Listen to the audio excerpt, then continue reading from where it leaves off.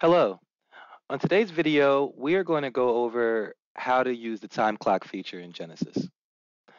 So the first thing you need to do is to actually turn the time clock on to make it active by going to Agency and clicking All Locations. You want to click on the location and scroll down. We're going to focus over here to the right. You'll see where it says Time Clock, and we're going to turn that on. As soon as you turn that on, you'll notice there's an icon up here on the blue ribbon that says time clock. You want to click it. As you can see, uh, naturally, the first function that it offers you to do is to clock in. If I clock in now, you see it registers that punch. Okay. You can also clock out. Now, let's just say you needed to clock out and you wanted to specify that it was for lunch.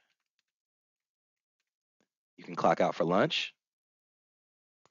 Now we also have the ability to see all of your punches for the week. And for admin, you also have the ability to manage the time clock, and there's also reporting features that come along with that. I hope this was helpful. If you have any questions, please do not hesitate to reach out. Thank you.